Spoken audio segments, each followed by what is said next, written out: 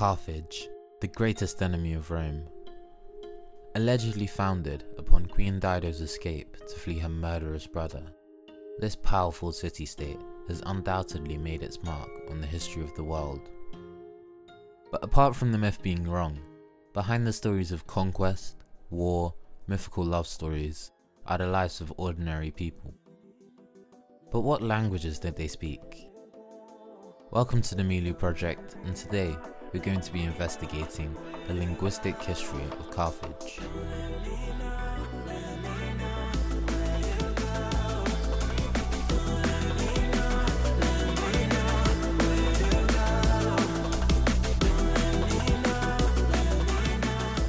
Far away from Carthage, the very existence of the city arguably begins in the waters off the coast of modern day Lebanon, with these guys, a variety of sea snails known as murex.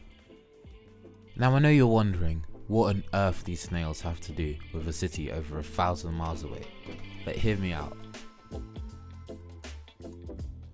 These snails produced a type of purple dye prized throughout the ancient world and the trade of this, as well as cedar timber, led to the formation of numerous city-states, one of which being Tyre. What's important to understand is that Tyre and the other Phoenician city-states, known for their maritime expertise, began to dominate the Mediterranean region, and around the time of the 8th to 9th centuries, Carthage was founded. You see, Unlike the Egyptians and Mesopotamians, who used flat-bottom boats to traverse their rivers, the curved boats, which the Phoenicians pioneered, allowed them to traverse more easily the sea, enabling them to trade goods like copper, iron, and olives, as well as cultural exports such as their alphabet and art, with civilizations across the Mediterranean. The thing about Carthage though is that it wasn't just founded anywhere. The Tyrians strategically placed it on a triangular peninsula, looking out into the Gulf of Tunis, with the Lake of Tunis to its rear. The city was also positioned in a way which meant that it was close to the island of Sicily, which made it easier for the Carthaginians to control the narrow strait which lay between the continent and island. As the prosperity of the burgeoning city increased, this attracted many of the indigenous Berber people into Carthage. At the time, these Berbers would have spoken Numidian, which was descended from Proto-Berber, and their language used the Libico-Berber alphabet, a system indirectly inspired by the Phoenicians. Like most Afro-Asiatic languages, Numidian used a system of triconsonantal roots, where only consonants were written and vowels had to be inferred. This inscription here is how the Numidians would have written their language, transcribed into the Latin script for the sake of simplicity. And here is that same inscription with the vowels added Numidian continued to be spoken until the 3rd century CE, until it developed into the various Berber languages, many of which are still spoken today.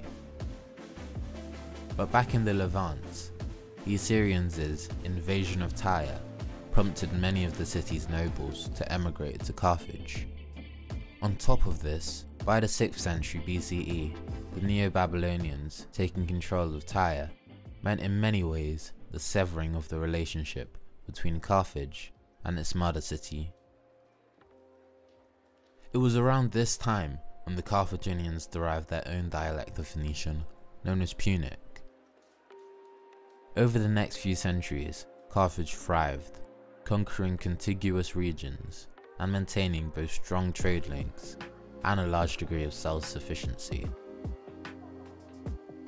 And in terms of travel, just like their Phoenician forefathers, the Carthaginians were great navigators, and it's known that they visited Britain, Ireland, and even places as far off as Nigeria, Cameroon, and Gabon.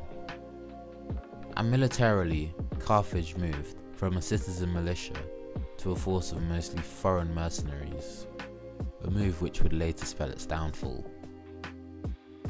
But what was the Punic language like, and how did it differ from Standard Phoenician?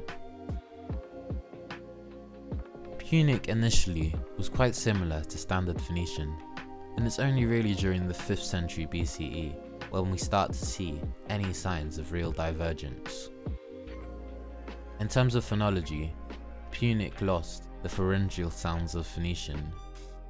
B became allophonic with V, S moved to sh, and word initially, the Y sounds shifted to an E.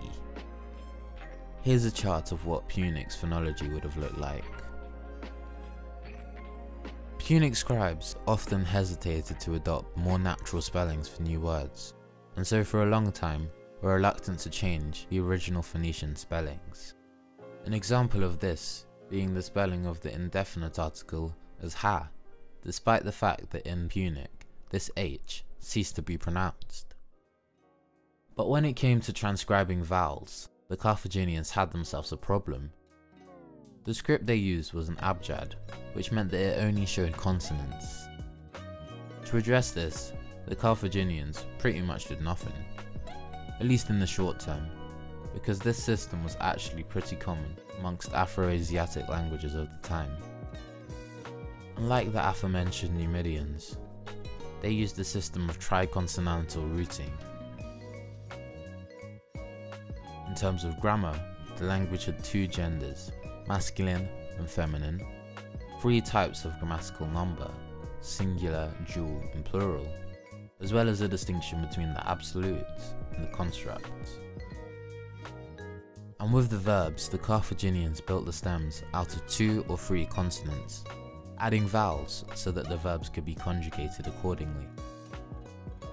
Verbs could be conjugated in order to achieve the following tenses, moods, and aspects.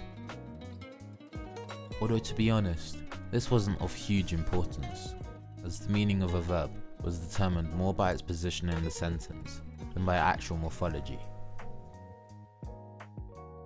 The Carthaginians also introduced some grammatical innovations, such as the use of the verb yiqtol at the beginning of sentences to indicate the past perfective. Although the verb yiqtol existed in Phoenician. The past perfective was achieved through the use of the infinitive absolutes. Here are some examples of how Punic words evolved from Phoenician. And here is an example of some Punic text. This being a poem written in an iambic rhythm in the year 350 AD. In spite of the Roman invasion and subsequent colonization of the region, the use of Punic persisted for many centuries until the Arab conquest in the early 8th century. Anyway, that's all for this week. If you've enjoyed this video, don't forget to like, subscribe and tune in next week.